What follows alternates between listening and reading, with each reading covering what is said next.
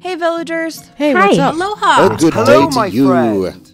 I was over by the stone pile getting some stones, you know, because we're in the Stone Age. Of course, that makes perfect sense. Yeah, Neolithic means New Stone Age. We're truly the next generation. We really live in a futuristic time. This technology will never become outdated. Stones are awesome. I love them so much. Yeah, anyway, I saw some really big stones. They were enormous. Were they megaliths? Get it?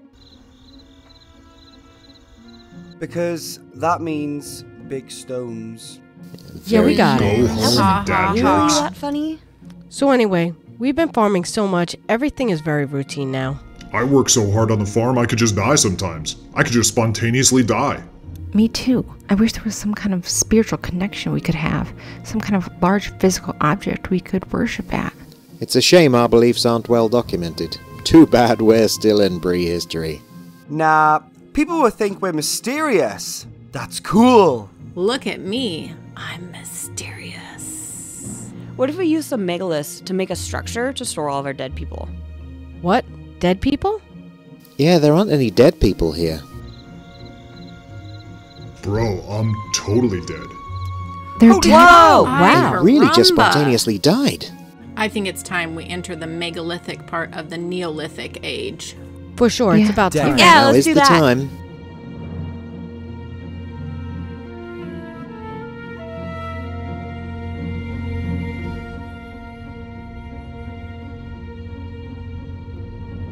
Hello, everybody, and welcome back to Oxucapografia. That word is too big, you can call it OXG for short. This is a series where we'll be using Cities Skylines to create a historic city, which will be based loosely around the historic timeline of Lisbon, Portugal, home of Xuca the cat. Meow. This is still a very new series, so you've made it just in time to really become involved in this epic project. Our timeline is just now advancing through the Neolithic era, and the agricultural revolution has laid the foundations here for permanent human settlement. I've received a lot of great comments about how to proceed from the last episode, so we'll try to take them all into consideration. Make sure to subscribe and hit the bell so you get notified for when I'll be going live for finishing the other villages after completing this first Neolithic village today. So, in the last episode, the agricultural revolution took place. By using custom assets converted into simple procedural objects, this first of eight original hunter gatherer tribes has settled a village at the foot of this large hill near the river. We've begun planting crops and raising sheep, and the key term for this type of lifestyle is agropastoralism. This just means that the people farm crops and raise animals in open land. This is still a relatively small population, and there are no clearly defined roles or social hierarchies. Everyone works cooperatively to manage this sustenance lifestyle in relative peace. If that sounds pretty utopian to you, just remember that there were very few humans on Earth compared to today. The estimated global human population remained approximately 3 to 5 million people for 99.99% of prehistory, a period of about 3 million years. The agricultural revolution changed that. More bread means more making babies, and more babies are needed to make more bread. So let's add another farm field so we can get some more population. We'll keep it in this area by the fertile soil near the river. Let me demonstrate a simple procedural objects technique that I briefly mentioned last episode, which is moving vertices. A decal like this big farm field has 8 vertices. It's not a single sheet, but more like a flat box. It behaves a little differently than some other procedural objects, but by going to advanced customization, we can right click and drag to grab these corner vertices and move them within the original footprint of the decal. This will allow the road to be visible instead of covered up by the field. Holding control while moving vertices will disable the snap to axis feature, which you may want to do. We'll mix normal decals with PO decals to get the look we want on this not perfectly flat terrain. And we'll plant some crops and shrubs around the field, giving the impression this is a slightly different species of wheat than our other field. Like barley, perhaps.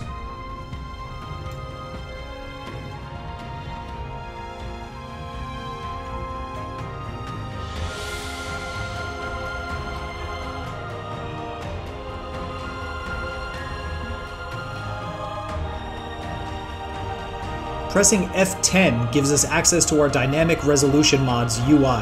which we'll use to quickly upscale the resolution and see our field in ultra high def.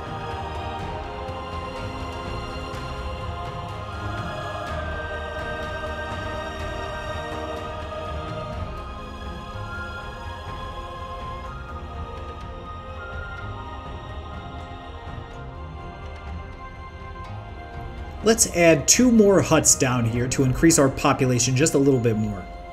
Remember that for now, we're just making prop villages that will be integrated into regular game mechanics later on.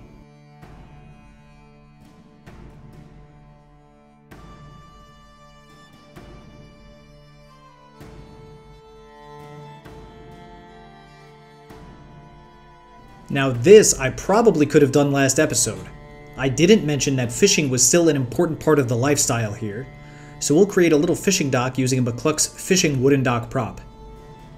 It may be a bit anachronistic to have a dock like this at this time, I'm not totally sure, but it's a simple representation of fishing for us, so we'll use it.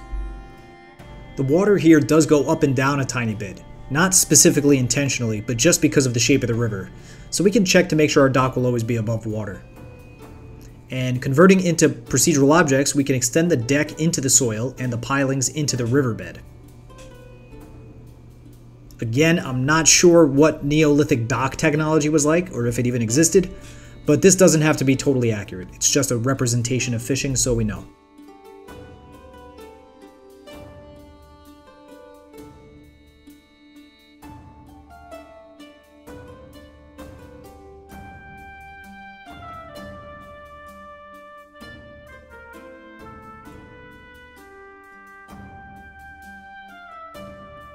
While I'm working on the waterfront, let's use Ronyx69's riverbed decals to give some textured look underwater.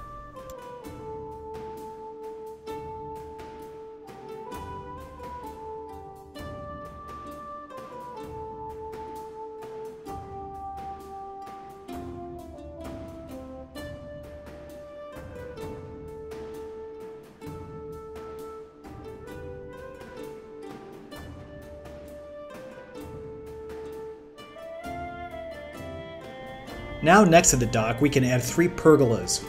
Again, more as a representation of structures, but also because they kind of look like drying racks from the game Dawn of Man. People can hang fish and meats up here to be salted and dried in the sun. Let's start thinking about our first ore industry. It's not metal ore, it's just stone. You know, because uh, it's the Stone Age. So we'll just kind of come over here by this cliff and figure that it is an easy spot to grab some rocks.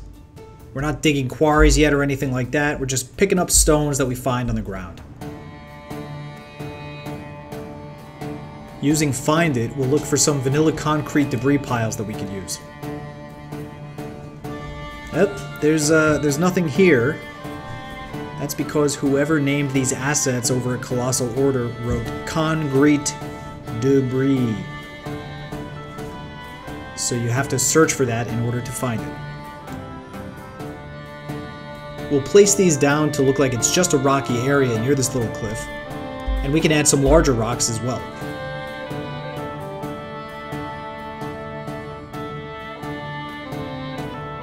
Let's place some decals around and then recolor the rock piles to match our cliff texture color.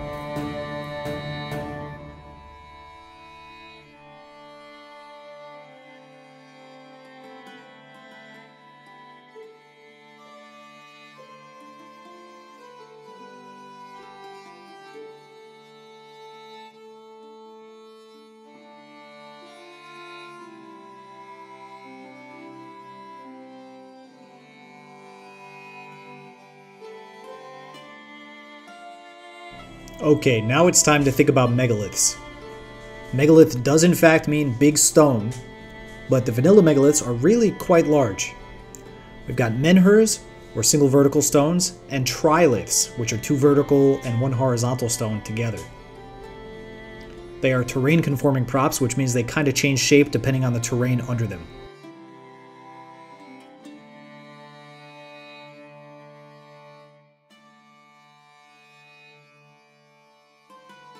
If we pull out our trusty meter stick prop, we see that these are between 5 and 9 meters tall, or about 16 to 30 feet tall. That's really big. The megaliths in Stonehenge are about 4 meters tall, for some reference. So to imagine a megalith twice the size of that is pretty hard to believe. But the largest single stone megalith of the Neolithic age was the now broken Menhir of Ergara in Brittany, France, which stood 20.6 meters tall. Now, when I use Move It's shrink and grow feature, something strange happens. Shrinking seems okay, as it makes the stone very skinny and a bit smaller, but using the increased size, it gets fatter but starts also getting shorter. So that's a bit counterintuitive, but that's just what happens.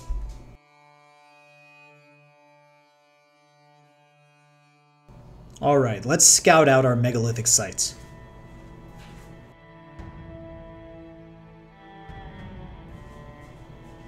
We'll go look just outside of the village, and over here we see a somewhat isolated mound.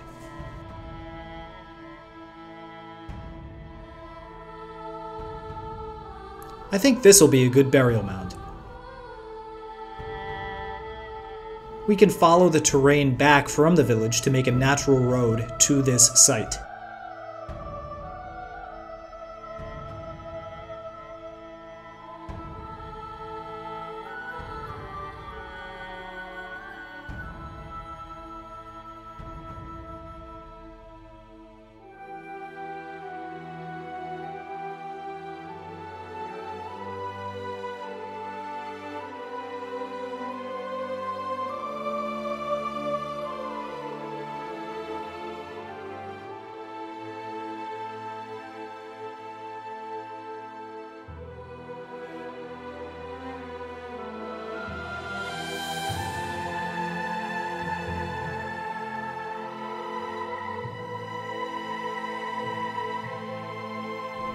Before we begin constructing our mound, let's go over using block surfaces.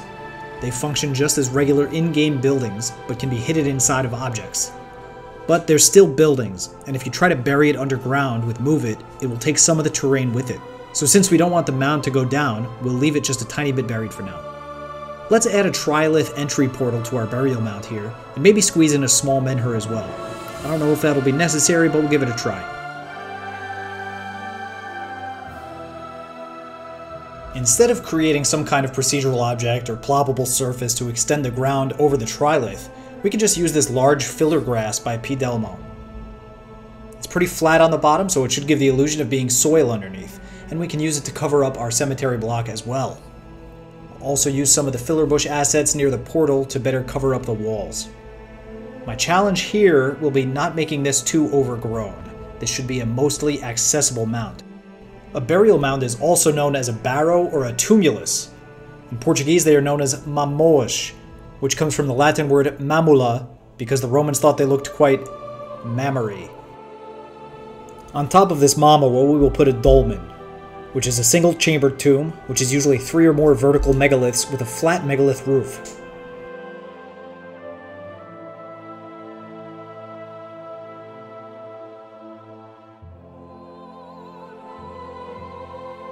To create the roof, I've decided to use a ploppable asphalt surface instead of a procedural object. Normally I'd use PO, but I'm trying to see if it's better with a ploppable surface. I may end up scrapping ploppable surfaces altogether if none of my assets are dependent on them, but I'm not quite ready to do that just yet.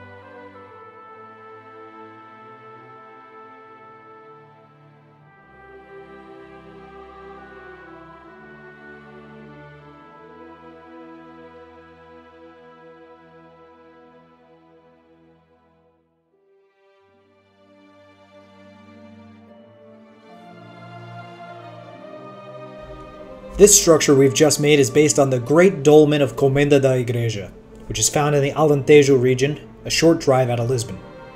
There are dozens of dolmens and burial mounds and hundreds of menhirs found around Portugal, thousands more around the rest of Europe and all over the world. Many of them sit in empty fields, only ever visited by locals or perhaps the passing archaeologist.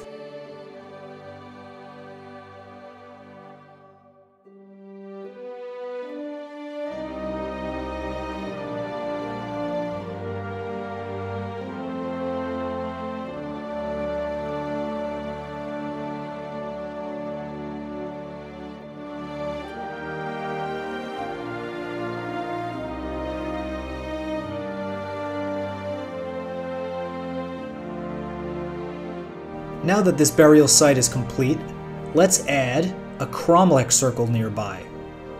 In English, cromlech is a term for both a burial site, like we just made, as well as large stone circles such as the Great Cromlech of Almendres, also found in the Alentejo region of Portugal. The use of sites like these is one of the great ongoing debates in prehistoric archaeology. Some were likely used for calendar purposes with the sun, but otherwise it's still generally unclear. We'll just make a circular pattern of menhirs here, with two in the middle for good luck. We don't want them to be too tall, just seems way out of scale for this project.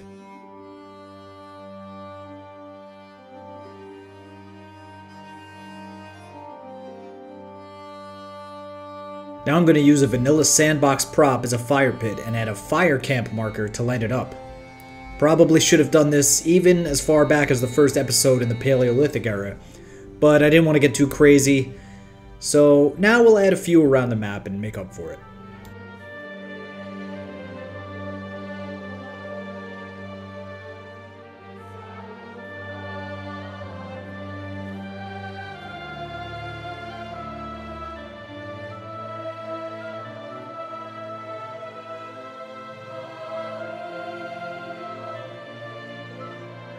You know what? Let's add a few more roundhouses to our village while we're at it.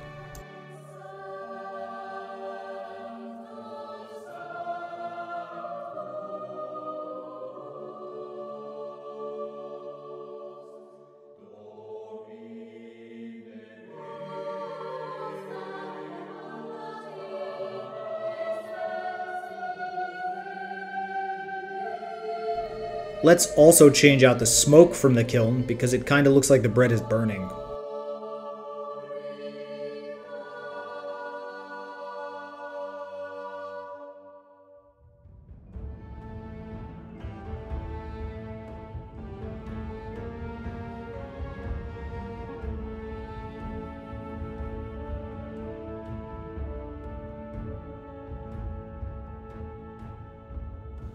Okay, now I'm going to detail in some trees, vegetation, decals, and props off camera, and do a camera fade so smooth that if you aren't looking closely, you might not even realize that it just took place.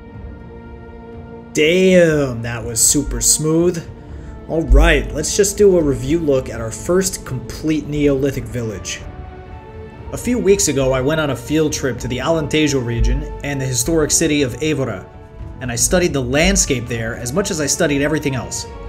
I think it goes without saying, but I'll say it anyway, that adding trees and vegetation to a map really make it come to life more than anything else that you can do.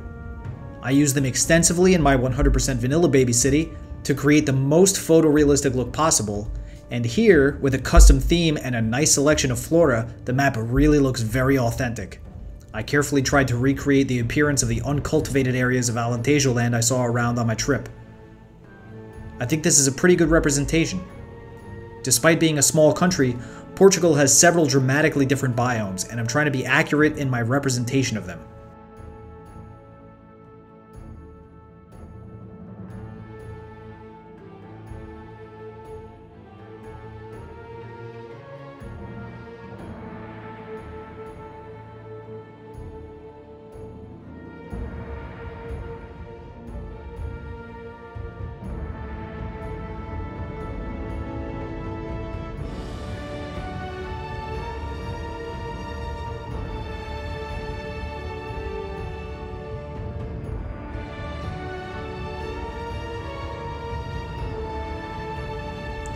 So, we've finished our first village.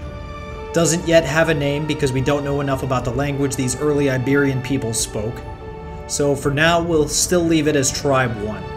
The remaining seven villages will utilize basically the same ingredients we have here huts, wells, agropastoralism, fishing, stone collection sites, and megalithic monuments. But because each of these other villages are in a unique location, the way in which we design these villages will depend largely on the geography. Let's fly around the map and refresh our memories on what they look like so we can imagine their future.